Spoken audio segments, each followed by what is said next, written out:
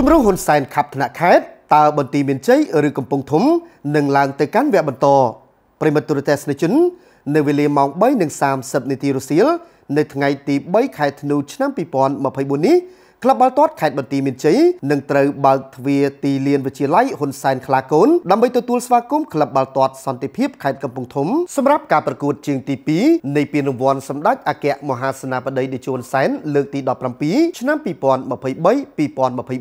វគ្គជម្រុះថ្នាក់ជាតិកាលពីប្រកួតជើងទី1កន្លងទៅក្លឹបបាល់ទាត់ខេត្តបន្ទាយមានជ័យបានយកឈ្នះលើសន្តិភាពខេត្តកំពង់ធំដោយបញ្ចប់នៅលទ្ធផល2ទល់នឹង1នៅឯទីលានខេត្តកំពង់ធំខណៈដែលការប្រកួតជើងទី2នឹងសម្រេចថាក្រុមមួយណាឡើងទៅជួបព្រះខ័នរាជស្វាយរៀងដែលជាក្រុមឈរនៅលីកកំពូលកម្ពុជានាវគ្គ16ក្រុមចុងក្រោយនៃពានរង្វាន់សម្ដេចអគ្គមហាសេនាបតីតេជោហ៊ុនសែនលើកទី17ឆ្នាំ2023 2024វគ្គជម្រុះថ្នាក់ជាតិសម្រាប់បេក្ខភាពប្រកួតវគ្គជម្រុះថ្នាក់ជាតិនេះដែរគឺមាន17ក្រុមឯណោះក្នុងនោះមានសមាជិកមកពីក្របខ័ណ្ឌលីកកំពូលកម្ពុជាចំនួន10ក្រុមក៏ដូចជាលីកទី2ចំនួន3ក្រុមនិង4ក្រុមផ្សេងទៀតជាបេក្ខភាពវគ្គពាក់កណ្ដាលផ្ដាច់ព្រាត់នៃពានរង្វាន់សម្ដេចអគ្គមហាសេនាបតីតេជោហ៊ុនសែនថ្នាក់ខេត្តឆ្នាំ2023កន្លងទៅប៉ុន្តែសម្រាប់ក្រុមបន្ទាយមានជ័យនិងកំពង់ធំត្រូវប្រកួតជើងទី2ដើម្បីកំណត់ក្រុមឈ្នះឡើងទៅកាន់វគ្គ16ក្រុមចុងក្រោយនៃពានថ្នាក់ជាតិខាងក្រៅនេះគឺជាការប្រកួតនៃវគ្គ16ក្រុមចុងក្រោយ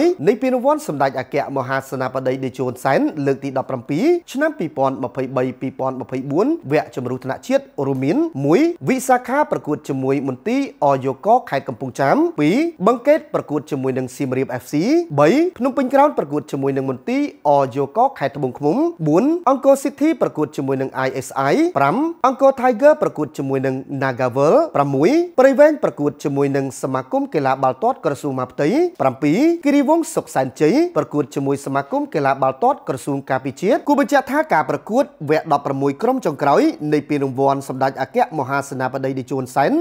លើកទី17ឆ្នាំ2023 2024វគ្គជម្រុះថ្នាក់ជាតិនឹងចាប់ផ្ដើមប្រកួត នៅថ្ងៃទី10ខែមករាឆ្នាំ2024ខាងមុខនេះហើយ។